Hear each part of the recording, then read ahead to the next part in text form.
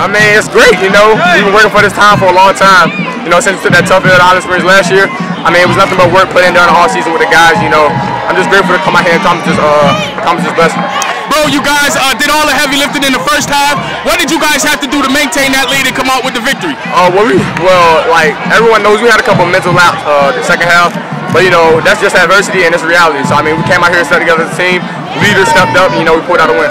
After last year's loss, you uh, it seems like you per, you took it personal. Talk about um, this team's evolution from last year's loss to this year going 15 and 0. I mean, we, I think all of us took it personal. I mean, like I said, we was clown publicly. So I mean, it was in our weight room uh, every day throughout the summer. And, you know, we every team we played had to take, uh, had to had to get that work that uh, Highland Springs did to us. I mean, we took it out on everybody we facing. All right, bro. Now that you're 5A state champion, what is your legacy at Maury? Uh, honestly, I don't I don't know what others uh, think of me, but I mean, me personally, I mean, I want people to know that I work hard uh, in the classroom and on the field, and I do whatever for my team. All right, bro. Congratulations, man. Go enjoy the rest of this with your team, bro. All right, but that.